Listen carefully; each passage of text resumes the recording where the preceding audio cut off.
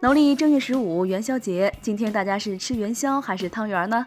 懒猫祝大家元宵节快乐！今天的科技新闻有：Intel 酷睿 i7 8750H 出现在 Geekbench 4的数据库中，显示该处理器六核心十二线程，Coffee Lake 架构，基准频率二点二 G 赫兹，可睿频至四点一 G 赫兹，三级缓存九兆，热设计功耗四十五瓦，单线程跑分五千零三十二。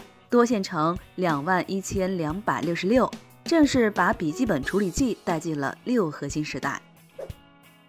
有开发者从 AOSP 开源项目的代码里发现，谷歌计划通过 HAL 接口让安卓原生支持虹膜识别，虹膜识别要大行其道了。外媒报道，乌博的创始人加勒特·坎普计划推出一款全新的数字货币 Eco。该币旨在解决现有币种存在的技术问题和其他挑战。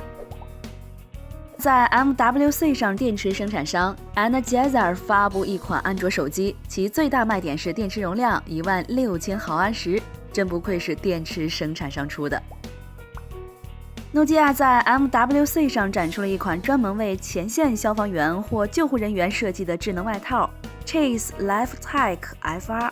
衣服里有各种传感器，时刻监视使用者的体征。预计十二至十八个月后正式投产。